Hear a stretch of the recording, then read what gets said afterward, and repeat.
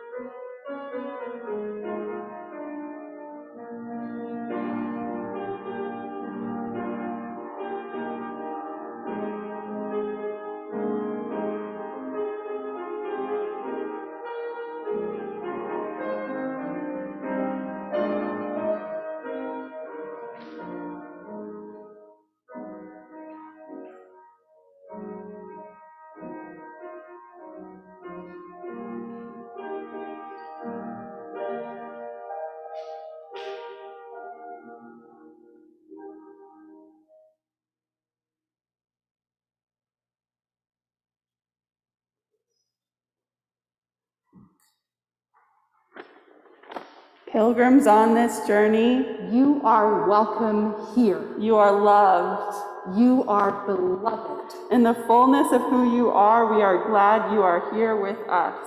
In the room, or on the Zoom, or on YouTube later on, Singles, couples, families, new or long time, sad or joyful, doubtful or convinced, you are welcome here.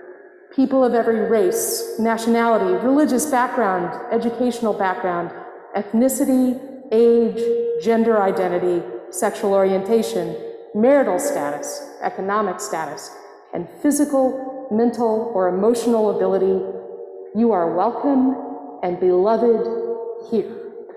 We are glad that you are here right now so we may journey together. Just a few announcements today. Today is an intergenerational service with lemonade outside after church for those in person and fellowship time on Zoom. If you would like to say hi to the people on Zoom, there's a computer up in the balcony that you can go up after church to say hello. Um, next week, next Sunday, we begin Sunday school. Classes will be outside after a brief time here at the beginning of worship. Um, youth group meets after church next week too. Um, there is nursery care. Miss Lydia Van Ebra is our new nursery care provider here, and Mary Matthews helping out as well. So thank you to them. Um, choir practice has begun for the fall on Thursday evenings at 7:30 in person and on Zoom. Um, Bible study begins this Tuesday at 9:30 on Zoom with a tour of the Psalms. Um, we have an outdoor hymn sing and a community building night on Zoom coming up. And we have plenty of other ways to volunteer, so talk to us after church or check e-notes.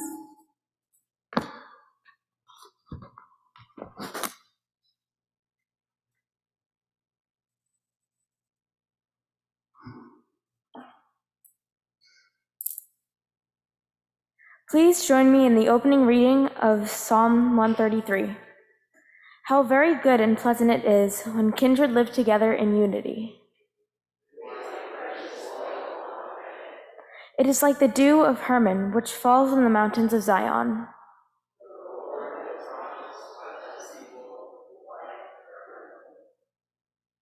Let us continue to the opening prayer. Holy God, how good it is to be together, gathered to worship you this day. We bring our full selves before you, joys and sorrows alike. We bring our full selves to this community, ready to bless one another. Amen.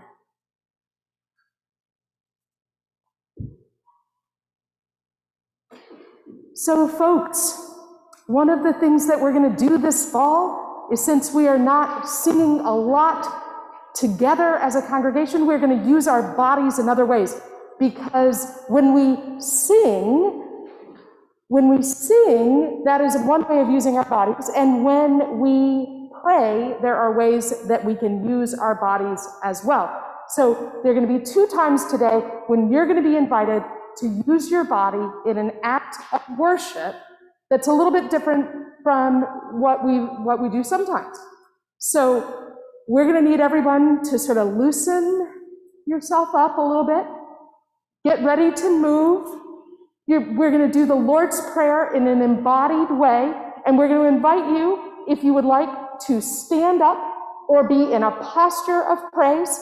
Be where you can move your arms. And we are going to do the Lord's Prayer in word and in motion. Now, in my house, we do the Lord's Prayer every night together, but this is going to be a different kind of practice because sometimes you go through the words and, and you just, just, just say the words. And you don't think about the meaning of the words that you're saying. So this exercise is about thinking about the meaning of the words that we're saying by using our bodies to pray the Lord's Prayer together. So Sarah and I have been practicing this, and are you ready to do this with us? Get your arms ready. You're mostly going to need your arms. Okay. All right. Our Creator, who art in heaven, hallowed be thy name. Thy kingdom come, thy will be done on earth as it is in heaven. Give us this day our daily bread, and forgive us our debts as we forgive our debtors. And lead us not into temptation, but deliver us from evil. For thine is the kingdom and the power and the glory forever and ever. Amen. Now, y'all did great at that, but I think maybe we want to do it one more time. And if you cannot see me, you can move right now to be able to see me or Sarah to do this one more time together. This will also be a test to see if I've memorized this, right? Okay. All right. Our Creator, who art in heaven, hallowed be thy name. Thy kingdom come, thy will be done on earth as it is in heaven. Give us this day our daily bread, and forgive us our debts as we forgive our debtors. Lead us not into temptation, but deliver us from evil. For thine is the kingdom, and the power, and the glory forever. Amen. All right, now our liturgist Isabella is going to lead us in the peace.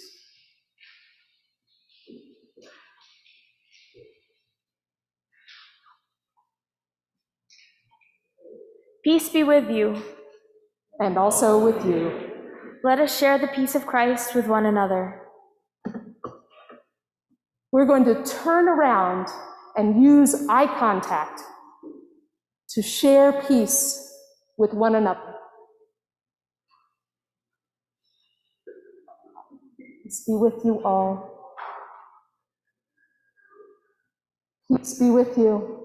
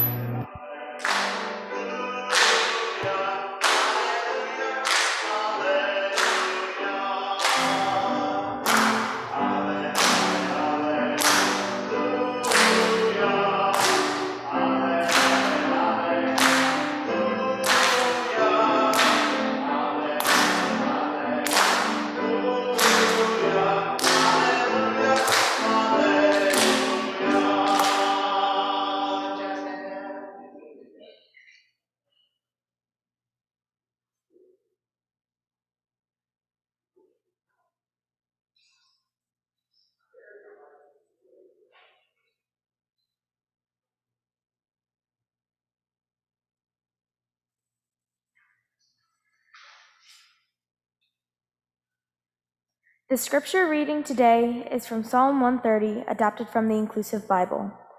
Out of the depths I cry to you.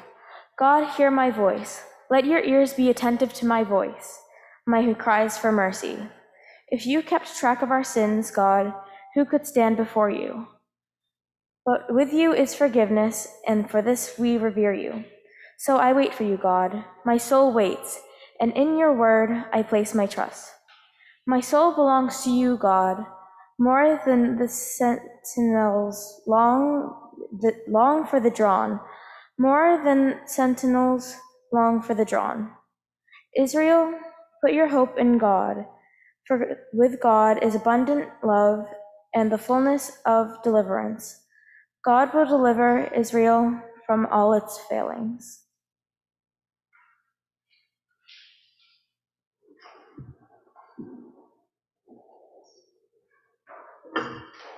Thank you, Isabella. And thank you, Dot and Max, for helping us get creative about worship today. Um, I have uh, just a couple of real quick things to say this morning. But first, I'm going to invite you all to pray with me. Oh God, may the words of my mouth and the meditations of all our hearts together be always acceptable in your sight, for you are our strength and our Redeemer. Amen. So I have Psalms on the mind today because our Bible study group on Tuesdays is going to be going through many of the Psalms. And these two that Isabella read to us today, Psalm 133 and Psalm 130, these are pilgrimage Psalms, which is pretty cool, right? The Psalms for people like us, pilgrims pilgrims who are journeying together. In, in the ancient context, these were psalms literally that people would use while they were on their journey to Jerusalem, to a mountain in Jerusalem called Zion, to a place of peace and refuge. And Isabella read about the dew from Hermon falling upon Zion. You know what that means? Those places were 100 miles apart from each other. So, what it symbolizes is that people were coming together. And I think of that today as we gather in multiple places and in multiple ways. We are coming together, and that is as precious as the dew from Hermon falling on the mountain of Zion. It is good to be reunited, it is good to be brought home. So, I've got just two points today. First, that line from the psalm how good and pleasant it is when kindred dwell together in unity. We are not alone. We are part of a loving community. We are connected in faith beyond just this congregation. It is precious like dew. It is a blessing to be together as kindred. It is wonderful to be part of a community where everyone is welcome. There's a poem that goes, Mine is the church where everyone is welcome. I know it's true because I got through the door. We are a dazzling bouquet of every kind of flower. Jump in the vase. There's always room for more. So that was point one. So you know this is going to be short. Point two out of the depths we cry to you, O God. A colleague of mine, about a year ago now, said that going through COVID 19 felt like a species wide trauma for all of humanity. Does that ring true to you? Does this time feel traumatic? You can use your bodies to nod your heads or maybe you know, shake your heads no, it doesn't feel traumatic at all to you. Does, does that still ring true 18 months in? Some of us this weekend are also recalling the trauma of 9 11. When we go through trauma, there are things that we need to do to heal. And one of them, for most people, is to be part of a community. In this collective trauma, it's even more important to be part of a community, be part of a group that you have claimed and who have claimed you. A group where we have been welcomed in our full selves and where we can be honest and let it all out. Shout with joy when we are joyful. Grab the Kleenex when we grieve and are sad and wonder if we are worthy. When we are in community, both ways of being are part of our communal life. Kelley Harmon says, We don't heal in isolation, we heal in community. And that was true all the way back when the Psalms were written. Even when a psalm was in first person singular, here's our grammar lesson today, the Psalms were still meant to be sung in community. This is our story, this is our song. And the psalmist model that we can say anything we need to to God. Now, this is really important. If you have wondered if there is a right way to pray, and if you have ever wondered, am I allowed to say this or that to God? The answer is every way that you pray is the right way to pray, and anything you need to say to God is a thing you can say to God because God loves you all the way through, no matter what.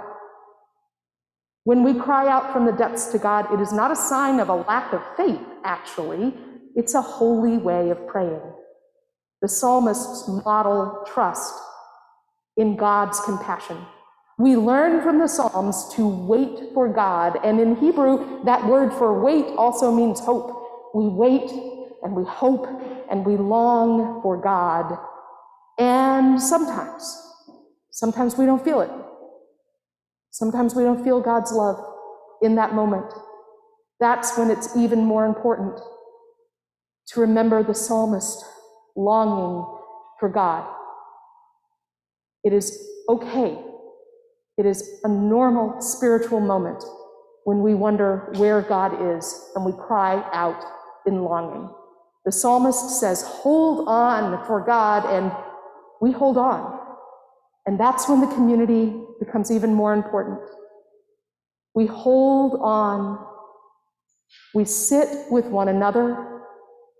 We care for one another.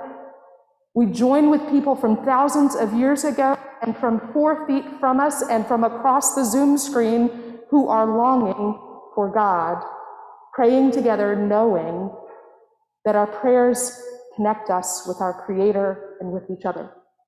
We're going to do this in more than words this fall. So you've already seen it. We've done the Lord's Prayer in body. We've done some rhythm work together. We are also going to create an art project together this year, this over the next few weeks, about how we're living through COVID-19. And that work of art is going to be a prayer, a communal prayer of our community, symbols of joy and heartache and blessing and sadness and all of the things that we bear together. So I'm asking you, I'm asking you to contribute something. And you can do that by emailing me a picture, putting something in the mail, dropping something in the box that's right outside the door. But I thought maybe I should show you some of the things that came to my mind. So there was a certain day in March 2020 when someone who's in this room, who shall not be named, and I were in the same grocery store, and our carts were very, very, very full of paper towels and other paper goods. So, this is one of the things that is going to go in our collage a reminder of those very early days when we did not know if we would have enough paper towels it's also a reminder of one of the pilgrims who took some of their paper towels and delivered it to someone who had run out in a way that we care for one another. Now, I know this is going to look a little odd, but I am going to put this on the altar. So then, of course, we have to have our masks. This one was one that was made by my sister. We need a bunch of masks because they're going to help us in our art project. And then, speaking of masks, everyone's favorite Christmas decoration from 2020. Can you see it? It's the mask angel. Yes, okay. This one's a little worn out. Did a lot of flying last year. And another thing that we did last year is we made care packages. This is one from our Easter care packages, an item that someone in our congregation painted these rocks for everyone who received one of those care packages. Did you get one of these rocks in the mail? Anybody here? Yeah? This one says peace. It's a reminder that we have kept on caring for each other. There was a day when I found out that I could finally go back to visit people in a nursing home. And I got there and they said, Now, this is how you're going to do it. And I had to wear full PPE, including a face shield. So, this is a little bit of a prayer of lament when I have this here, because it was so hard for so long to see people in person. But it's also a prayer of gratitude that we have figured out how to safely be together again. I've got three more. Everybody had a COVID hobby, right? Mine turned out to be painting. So here's my paintbrush. You all can bring something that was from your COVID hobby. It helped to connect me with a wider community because it turned out I wound up painting with a friend of my sister's. And I got so many things in the mail that were signs of love and hope. Did you get something in the mail that was a sign of love and hope at some point? One of our pilgrims wrote, uh, made a, a hand drawn or a, a drawing or a painting every single day, every single day to mail to someone during COVID. And another of our pilgrims found out that I liked butterflies. This is not a hint, I'm not hinting, but sent me a notepad of butterflies, which are a Christian sign of hope. So you can see we're going to make something together with this out in the narthex. And I have one more, which is a microphone. This was the microphone that we used for like 10 months on Zoom.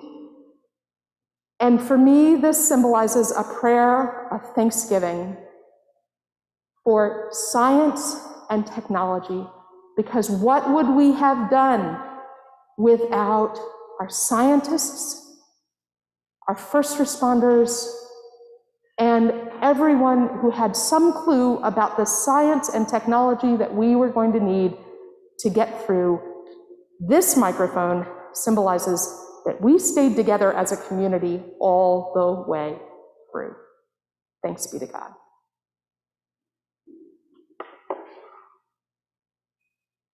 So, what these things all have in common, in addition to COVID 19, is that they symbolize community and resilience. And so we're back to that first idea how good it is when kindred dwell together in unity. Somewhere, somewhere in there is the building up of God's kingdom. Amen. And now it's time for us to pray together. And so I'm going to make sure I have my pen, and then I'm going to write down some prayers, but I'm also going to make sure that we hear from folks in the sanctuary and folks on Zoom. So I am going to go and check to make sure I have seen everything that has come through in Zoom. Okay, hold on.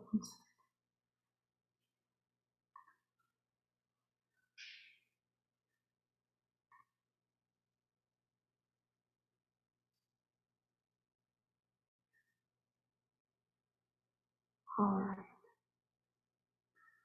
Thank you, Jeff. Um, this is where we uh, get a little bit delayed by me catching up with everything because I needed to open this file right here. And here we go. So, the prayers that have been lifted up in our Zoom community today prayers for the Friends of America still trapped in Afghanistan, prayers for continued healing for Mary Kay after surgery, prayers for Keisha and everyone with COVID 19, prayers for our Jewish siblings in the high holy days. And what are the prayers that you would lift up today here in the sanctuary? Let us hear from you. What are your prayers today? It's been a while since we've done this, right? It's like practicing a different muscle. Yeah, Jeff. Prayers of thanksgiving and continued healing for Sam, here today recovering from his surgery. Prayers of thanksgiving and prayers for continued healing for Sam right up there in the balcony after his ACL surgery. Stephanie.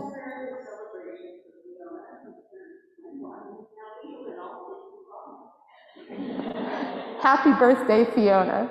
That's good. Happy birthday to two members of the Zorn family who are here with us today, right? Um, one, today, actually, right? Happy birthday, Elena.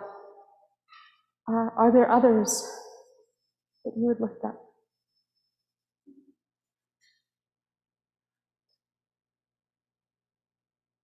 Let us bring all of this before God.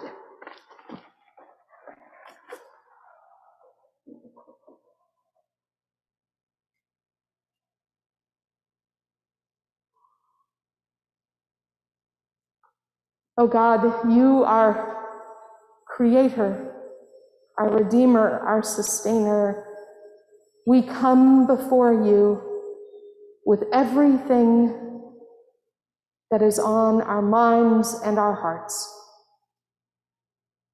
knowing that we can say anything to you, O God, and knowing that we are in a community of love and care where we can bring our full selves.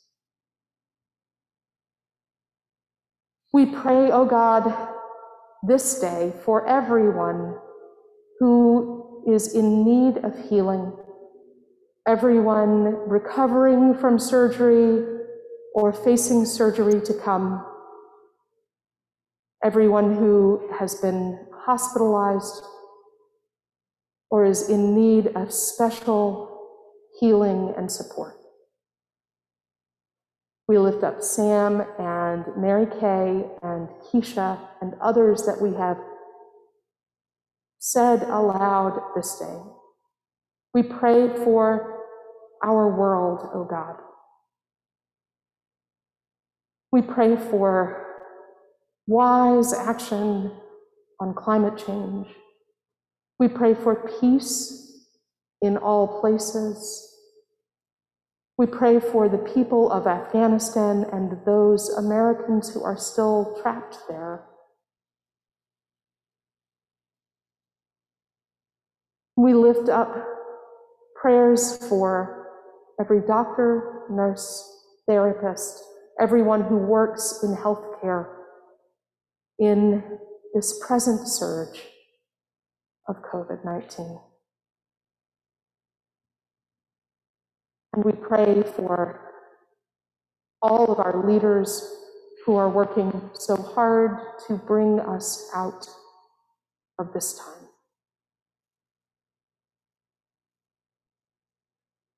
Oh God, hear our prayers, whether they are spoken aloud or held in our hearts.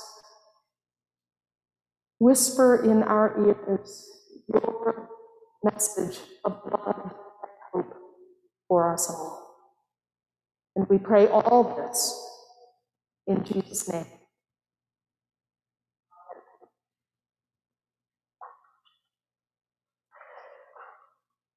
So while we are not passing the plates right now because we're kind of minimizing our movement, we are um, taking a moment at this time in our worship service to bless our offerings and to consider what it means to support a community of faith and the wider church and all of those causes that we are concerned about in the world. So Max is going to lead us with Dot in an offertory, and we give thanks for the abundance of our world and that we are able to share with our neighbors. The morning offering will now be celebrated.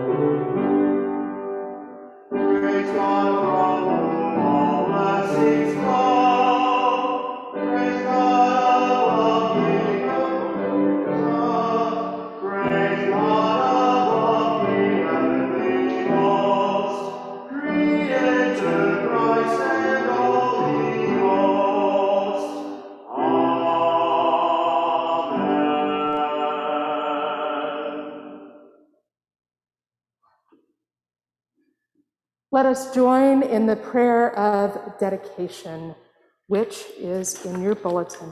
Generous God, you have made rich and poor, powerful and vulnerable alike in your image. Bless the gifts we have gathered today, that we may use them to protect the afflicted and bring greater justice to your world. Amen. Now, as we are approaching the end of our service, I want to tell you it is a, a beautiful day to be in fellowship with one another. So, if you want to be in fellowship with folks on the Zoom, you can either head up after the benediction and postlude to the balcony, or um, you can wave at people over here, but the sound is not on, okay? So, just so you know, you can wave as you go by if you want. And uh, if you would like a delicious cup of cold lemonade, that will be outside for you after the postlude. Thank you, Sarah. Uh, and if you need a chair to sit in, grab one um, or wave at someone who is strong of shoulder. Who here is strong of shoulder and would carry a chair for someone? Yeah? Okay, good. So you got some folks to ask to carry a chair outside for you for your lemonade time. You know, one of the things that we're going to be doing during this season is we're going to be navigating consent, right?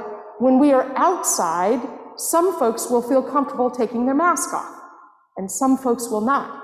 And so this is an excellent opportunity for us to practice what we should always practice, which is making sure everyone feels comfortable. So as you're getting to know people's comfort levels, and it might change from this week to next week, feel free to literally say, are you okay if I have my mask off while we're talking? And if they say no, then put that mask back on and wait for your lemonade for another couple of minutes. Uh, how do you feel about hugging? Some folks are going to be like, yep, I'm, I'm down for a hug. And some folks are going to say, not today. That feels risky. So let's be intentional and thoughtful about asking one another what our comfort levels are today, even outside, even while we're having our lemonade. So Here is our word of benediction and blessing as we go. Go forth and welcome all God's children, making the last first and becoming a servant to all. Go forth in God's welcome and love. Amen.